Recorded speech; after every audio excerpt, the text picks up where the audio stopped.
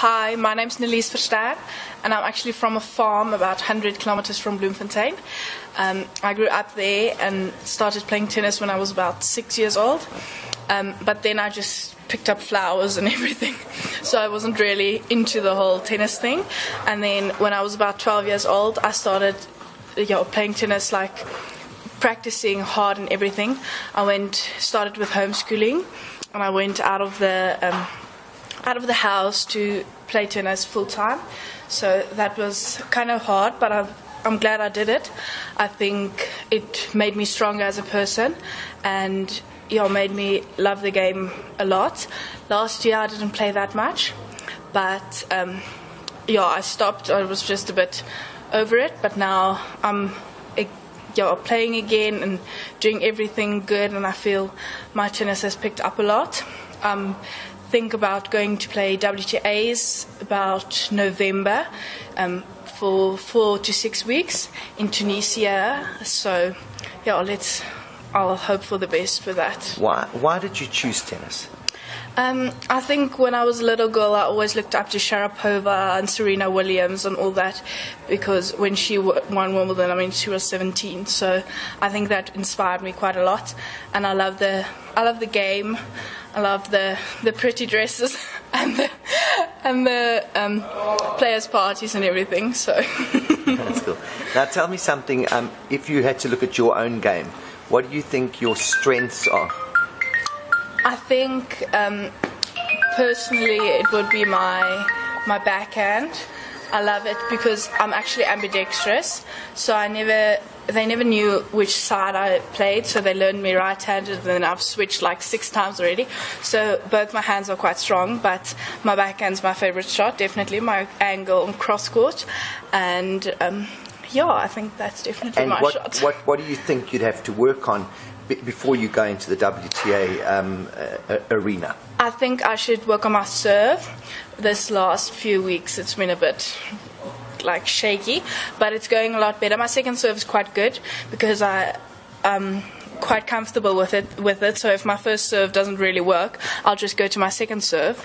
But um, yeah, definitely my first serve. Just the the consistency and the um, the pos- positioning of it because I'm a lefty, so my out wide serve needs to be quite good because then they return it short and I'll hit my backhand cross court, so it works really well.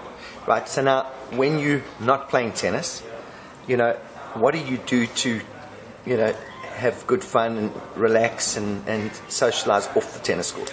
Because I wasn't in school, my social life isn't that high at the moment, and my brother isn't real social. But um, when I'm not playing tennis, I like to um, do modeling. and um, yeah, take photos. And yeah, on the farm, I'll just like to be around, love the outdoor life, and going to the mall and all that girly stuff. Oh, and I love my heels. and um, if, if, if, you, if you look at the tennis players today and, and, and you look at the inspirations, I mean, obviously there must be a favourite tennis player out there. You spoke about uh, Maria and you spoke about Serena, but have you got some favourite uh, tennis players in the men and the women's side? Yes, definitely. I like Ana Ivanovic. Um, I think her tennis um, picked up quite a lot. And Bouchard, I lo- love her competitiveness. I mean, she can hit a winner from absolutely any angle. So, and she steps in quite a lot. So that's really inspiring for me. And with the guys, I like Nadal, although I'm not really as consistent as him. He's very he, he, can just hit a thousand balls, and I admire that and his competitiveness on court. But to me, I think Eugenie is uh, inspiration because she just steps in. She's aggressive. She has a strong mind on her head, and she's um, yeah, she's just she does everything right, and she's young, so and and people that have inspired you and have been a big part of your career? I think my, my family has been such good inspiration. My dad and mom and brother always supports me in everything I do, and even if I lose a match and I'm really angry, they'll just be like, "I played good," and will they'll analyze my game and always get get a positive out of anything I do. So they'll always inspire, yeah, inspire me and support me in everything I do.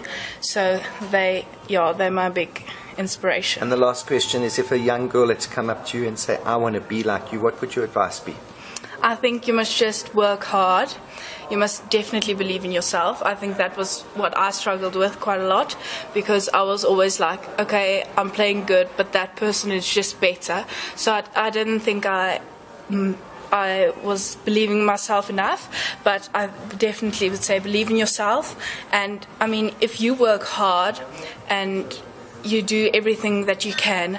I mean, there is a path for you. God has His way for you. So I think if you just do what you can and work hard, then anything's possible. So go for it.